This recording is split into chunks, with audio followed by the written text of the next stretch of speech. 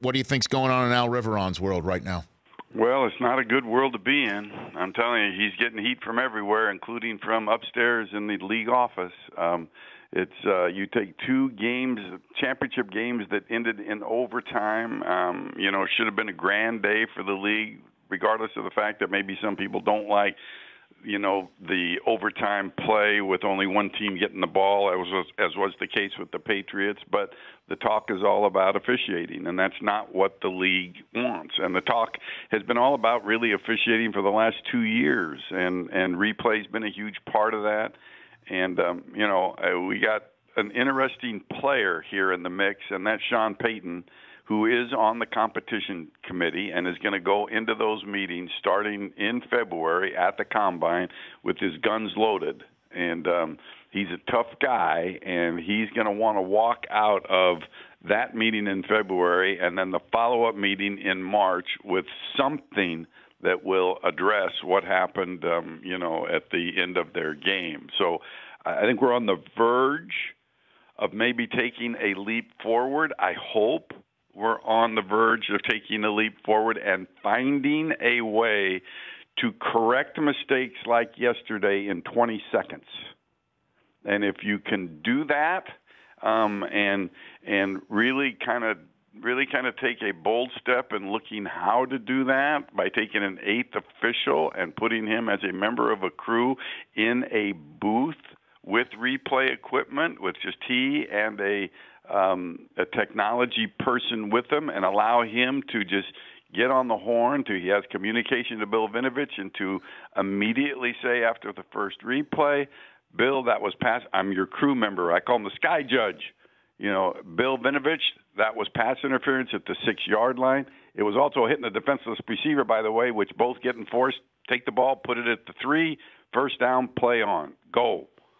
I think we're going to have to look at doing something like that to eliminate these types of misses. Well, you know, as Mike, as you know, I have opinions, and yes, I, no, I, really? I, not only I not only have opinions, I've got suggestions. Um, because I'm not just going to rail on something without offering uh, a solution.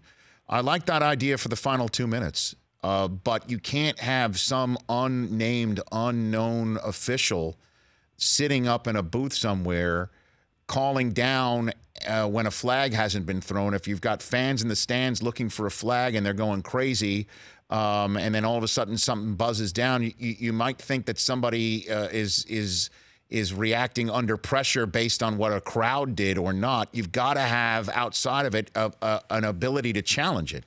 You've got to have it. It's got to be a coach's challenge initiated. Uh, unless it's in the last two minutes, but everything should be reviewable, and anything should be reviewable.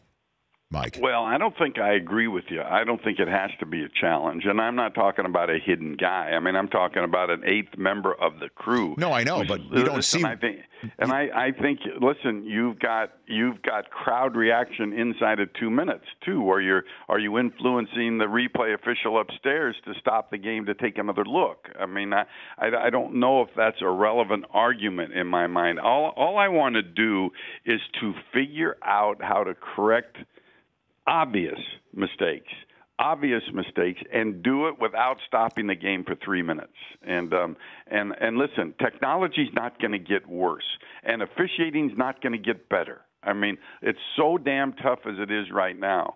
So you got to look at the technology that is available and the speed that you can get it and see if you can do something. If it was me, I would go to the committee and I would say, "Look, it let's not make hasty decisions here.